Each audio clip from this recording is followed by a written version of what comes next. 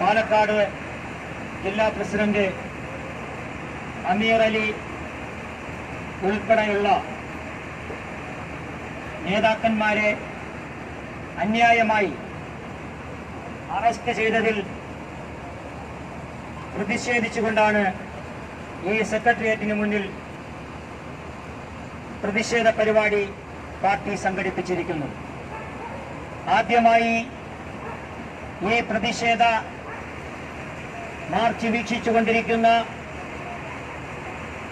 മുഴുവൻ പ്രവർത്തകരെയും സാക്ഷിയാക്കിക്കൊണ്ട് കേരള സർക്കാരിനോടും പോലീസ് ഏമാന്മാരോടും ഞങ്ങൾ ഞങ്ങൾക്ക് അഭ്യർത്ഥിക്കുവാനുള്ളത് അന്യായമായി അറസ്റ്റ് ചെയ്ത അമീർ അലി ഉൾപ്പെടെയുള്ള മുഴുവൻ ആളുകളെയും എത്രയും വേഗം മോചിപ്പിക്കുന്നതാണ് നല്ലത് എന്നാണ് ഞങ്ങൾക്ക് പറയുവാനുള്ളത്. എന്തിന്റെ പേരിലാണ് അമീർ അലിയെയും മറ്റ് നേതാക്കന്മാരെയും അറസ്റ്റ് ചെയ്തത് എന്ന് ജനാധിപത്യ സമൂഹം ചോദിച്ചുകൊണ്ടിരിക്കുകയാണ്. പാലക്കാട് നോർത്ത് പോലീസ് സ്റ്റേഷനിലെ എസ് ഐ സുധീഷ് കുമാർ രണ്ട് യുവാക്കളെ അറസ്റ്റ് ചെയ്യുകയും ക്രൂരമായി മർദ്ദിക്കുകയും വംശീയ അധിക്ഷേപം നടത്തുകയും ചെയ്തപ്പോൾ അതിനെതിരെ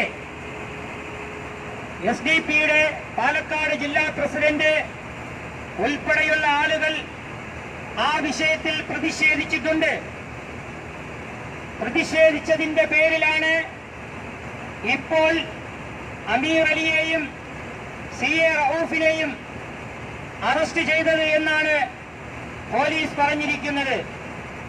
എങ്കിൽ എസ് ഡി പി ഐക്ക് പറയുവാനുള്ളത് ഇത്തരം മൂന്നാം മുറകൾ പോലീസ് പ്രയോഗിക്കുമ്പോൾ അത് ഞങ്ങൾ ഒരിക്കലും നോക്കിക്കൊണ്ടിരിക്കുകയില്ല. മറിച്ച് ഞങ്ങൾ ശക്തമായ പ്രതിഷേധവുമായി മുന്നോട്ട് പോവുക തന്നെ ചെയ്യുമെന്നാണ് ഈ അവസരത്തിൽ ഞങ്ങൾക്ക് ഓർമ്മപ്പെടുത്തുവാനുള്ളത്. വംശീയ അധിക്ഷേപവും ക്രൂരമായ മർദ്ദനവും കേട്ടാൽ അറയ്ക്കുന്ന ഒരിക്കലും ഒരു പോലീസുകാരനിൽ നിന്നും ഉണ്ടാകാൻ പാടില്ലാത്ത ആര് കേട്ടാലും അറച്ചു പോകുന്ന വാക്കുകൾ.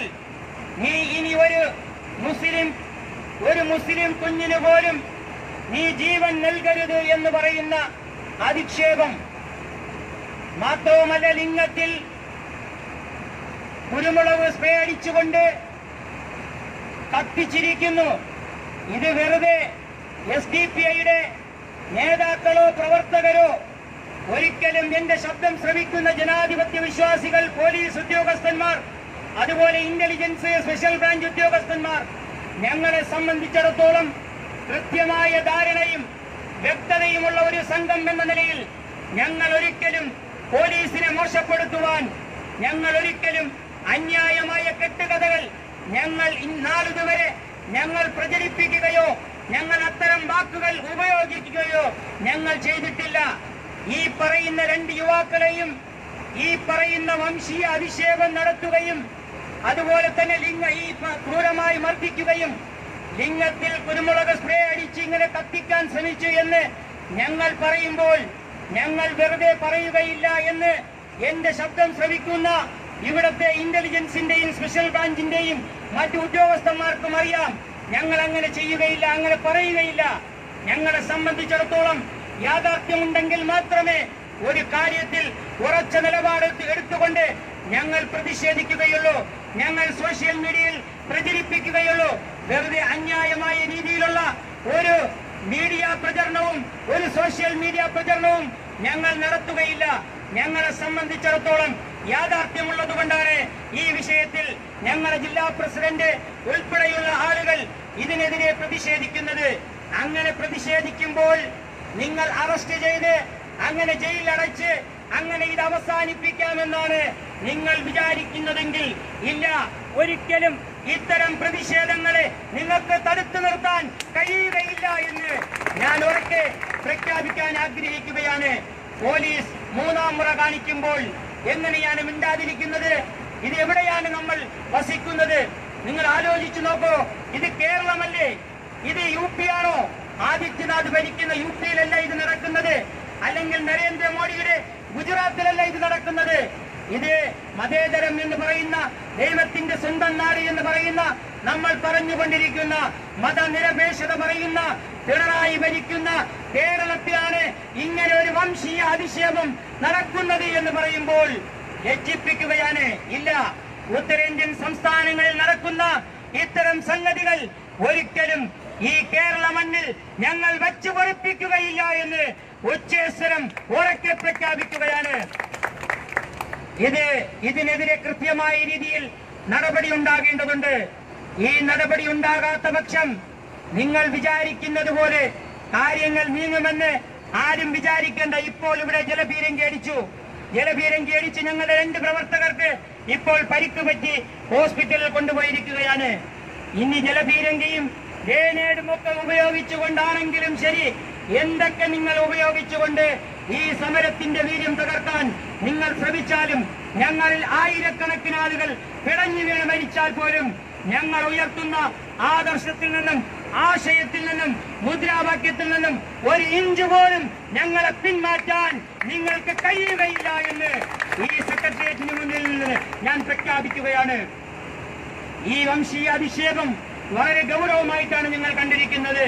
ഇന്നിവിടെ ഞങ്ങൾ ഈ പ്രതിഷേധ മാർച്ച് തുടങ്ങുമ്പോൾ ബഹുമാന്യനായ commissioner city police commissioner Balram Kumar Upadhya അദ്ദേഹം എന്നെ വിളിച്ചു. എന്നോട് സംസാരിച്ചു. നിങ്ങൾ മാന്യമായ രീതിയിൽ പ്രതിഷേധം നടത്തി നിങ്ങൾ പിരിയണം. ഇത് നടന്നത് പാലക്കാടാണ്. ഇവിടെയല്ലല്ലോ ഇവിടെ നിങ്ങൾ മറ്റൊരു മറ്റൊരു സംഘർഷങ്ങളും ഉണ്ടാകാനുള്ള സാഹചര്യം ഉണ്ടാക്കരുത് എന്ന് അദ്ദേഹം എന്നോട് ഫോണിലൂടെ സംസാരിച്ചു. ഞാൻ പറഞ്ഞു ബഹുമാന്യനായ സിറ്റി പോലീസ് കമ്മീഷണർ ഞങ്ങൾ ബഹുമാനിക്കുന്ന നീതിക്കും ന്യായത്തിനും വേണ്ടി നിൽക്കുന്ന ആളാണ് എന്നാണ് ഞങ്ങൾ മനസ്സിലാക്കുന്നത്. അതുകൊണ്ട് തന്നെ അദ്ദേഹത്തിന്റെ വാക്ക് ഞങ്ങൾ അനുസരിച്ചിരിക്കുന്നു. ഇന്ന് യഥാർത്ഥത്തിൽ ഞങ്ങൾ ഈ പ്രതിഷേധ മാർച്ച് ഇവിടെ നിന്ന് അവസാനിപ്പിച്ച് പോകാൻ വേണ്ടി വന്നതല്ല. അദ്ദേഹം പറഞ്ഞു നിങ്ങൾ അവസാനിപ്പിച്ച് പിരിയണം.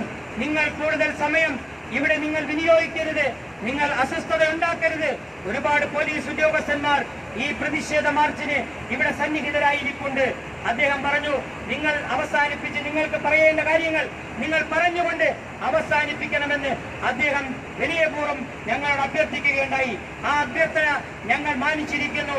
ഞങ്ങളുടെ ആവശ്യം യഥാർത്ഥത്തിൽ ഞങ്ങൾ ഇവിടെ പറഞ്ഞുകൊണ്ട് വന്നത് ഷബീർ ആസാദും ഞങ്ങളുടെ ജില്ലാ കമ്മിറ്റിയിലെ അംഗങ്ങൾ ഓരോരുത്തരുമായി ചർച്ച ചെയ്തുകൊണ്ട് ഞങ്ങൾ വന്നത് സംസ്ഥാനത്തിന്റെ പെർമിഷൻ മാറ്റിക്കൊണ്ട് ഞങ്ങൾ ഇവിടെ എത്തിയിരിക്കുന്നത് ആ മിനിറ്റുകൾക്കുള്ളിൽ ഇവിടെ എത്തണമെന്ന് ഞങ്ങൾ വിചാരിച്ചാൽ ഞങ്ങൾക്ക് എത്താൻ കഴിയുമെന്നുള്ളത് കൊണ്ട് തന്നെ ഞങ്ങൾ എത്തി എത്തുമ്പോൾ ഞങ്ങൾ തീരുമാനമെടുത്തിട്ടുണ്ടായിരുന്നു.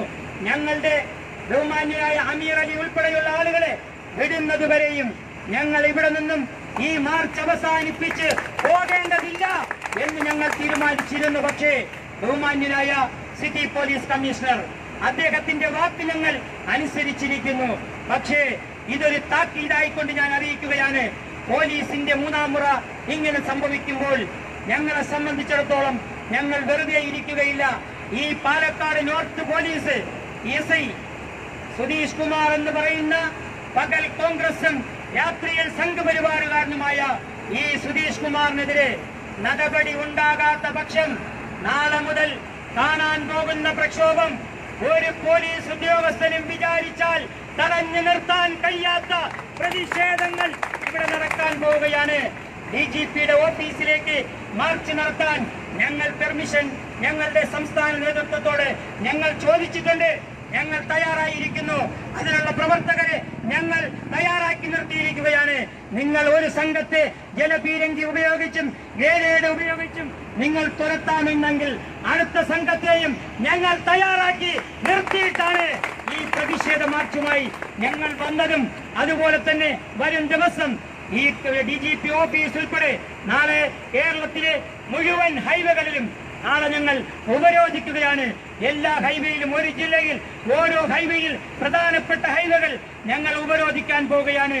ആ ഉപരോധത്തിൽ നിന്നും ഇതിനൊരു മാറ്റം സംഭവിച്ചില്ല എങ്കിൽ അടുത്ത ദിവസങ്ങളിൽ ശക്തമായ പ്രക്ഷോഭങ്ങളുമായി ഞങ്ങൾ മുന്നോട്ട് വരിക തന്നെ ചെയ്യും എന്ന് എന്നറിയിച്ചുകൊണ്ട് എന്നെ ശ്രമിച്ച നിങ്ങൾക്ക് ഒരായിരം വിപ്ലവ അഭിവാദ്യങ്ങൾ നേർന്നുകൊണ്ട് വരുന്ന മുഴുവൻ ഈ പോലീസിന്റെ അന്യായങ്ങളെയും അതിക്രമങ്ങളെയും ഒക്കെ നിയമപരമായും ജനാധിപത്യപരമായും രാഷ്ട്രീയപരമായും ഞങ്ങൾ നേരിടുക തന്നെ ചെയ്യുമെന്ന് ഉറക്കെ പ്രഖ്യാപിച്ചുകൊണ്ട് ഈ പ്രതിഷേധ മാർച്ച് ഔപചാരികമായി ഉദ്ഘാടനം ചെയ്തതായി പ്രഖ്യാപിച്ചുകൊണ്ട് നിർത്തുന്നു നന്ദി നമസ്കാരം ജയ് ഹിന്ദ് ജയ്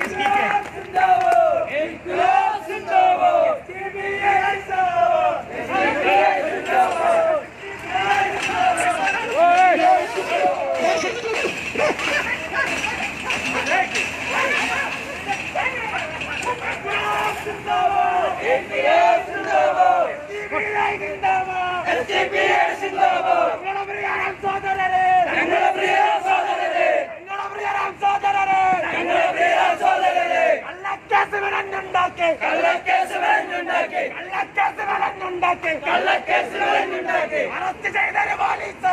അറസ്റ്റ് ചെയ്തൊരു പോലീസ്. കാക്കിക്കുള്ളിലെ സംഖ്യകളെ കാക്കിക്കുള്ളിലെ സംഖ്യകളെ കാക്കിക്കുള്ളിലെ സംഖ്യകളെ കാക്കിക്കുള്ളിലെ സംഖ്യകളെ നിങ്ങളെന്ന് പറഞ്ഞേക്കാം. നിങ്ങളെന്ന് പറഞ്ഞേക്കാം. അധികാരത്തിൻ തിന്നവലത്താൽ അധികാരത്തിൻ തിന്നവലത്താൽ ബലത്താൽ നിങ്ങളുടെ നേരെ പോരിന് വന്നു. ഞങ്ങളുടെ നേരെ പോരിന് വന്നു. നിനക്ക് നൃത്തം കട്ടായോ? നിനക്ക് നൃത്തം കട്ടായോ? ഇൻകുലാബ് ഇൻകുലാബ് എസ്ഡിപിഐ എസ്ഡിപിഐ നമ്മുടെ ഈ പ്രതിഷേധ പരിപാടി